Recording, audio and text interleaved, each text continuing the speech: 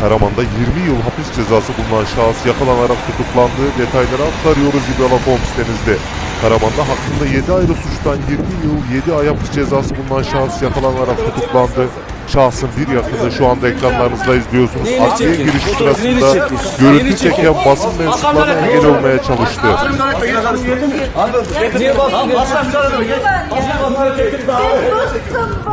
Lanet olsun devletin mazlumları mazlumları.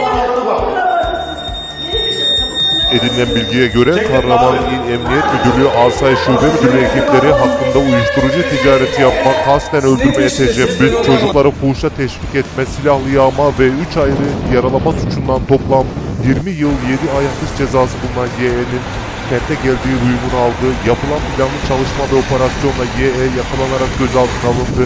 Emniyetli işlemlerin ardından YE adliyeye sevk edilirken şahsın bir yakını görüntü çeken gazetecileri engellemeye çalıştı. YE çıkarıldığı çekin? tutuklanarak Karaman Bey kapalı cezaevine gönderildi. Niye bastın? Lanet olsun devletin mazlumları mazlumları Çektirtme abi.